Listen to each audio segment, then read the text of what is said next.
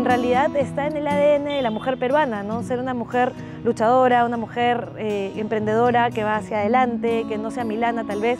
Y por eso digo que es nuestro ADN, porque no necesariamente tienes que practicar un deporte de contacto para ser una mujer luchadora. Hay muchas mujeres en el Perú que sacan adelante solas a sus familias. La mujer peruana es una mujer luchadora, desde siempre.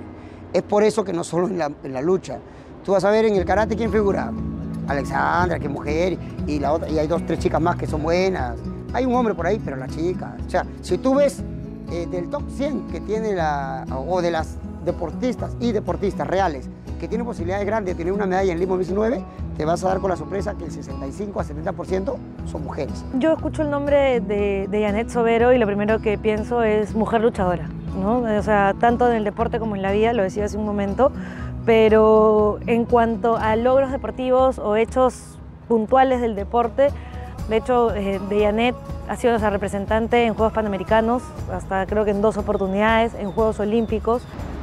Para mí la mujer que practica deporte y sobre todo de contacto es, son admirables. Son ir contra, un poquito contra el sistema, que, que te dice que eso es para hombres.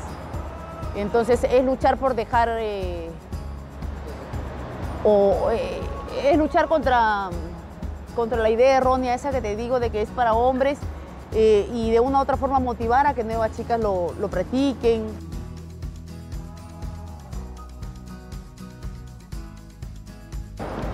Hola, soy Janet Sobero, practico lucha libre, he participado en los Juegos Olímpicos de Río 2016 y los invito a saber un poquito más de mí en el primer programa de Contáctala.